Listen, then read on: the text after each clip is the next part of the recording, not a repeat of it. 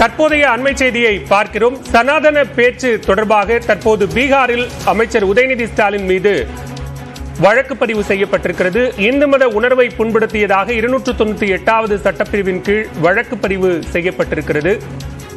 சனாதன சர்ச்சை பேச்சு தொடர்பாக அமைச்சர் உதயநிதி ஸ்டாலின் மீது பல்வேறு இடங்களில் வழக்குகள் பதியப்பட்டிருக்கக்கூடிய நிலையில் தற்போது பீகாரில் இந்து மத உணர்வை புண்படுத்தியதாக இருநூற்று தொண்ணூத்தி எட்டாவது சட்டப்பிரிவின் கீழ் வழக்கு பதிவு செய்யப்பட்டிருக்கிறது. அண்மை செய்தியாக பார்க்கிறோம்.